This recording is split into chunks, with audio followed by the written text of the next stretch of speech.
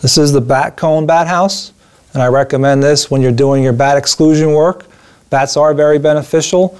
We need them for insect control. You can install this around your home or property so the bats have an alternate roost to go. Once they leave your home, they'll need a place to live. And this bat house will handle 20 to 40 bats, and I highly recommend it. This is the Forever Bat House. It's designed out of plastic. And the reason why I came up with this design, bats are very long lived. They can live anywhere from 20 to 30 years. So you want to give them a roost that they can return to year after year. And this particular bat house will do that. It won't rot or, or break down over time. It has uh, built-in venting on the sides. It has roosting areas on the front side of the house and also on the inside.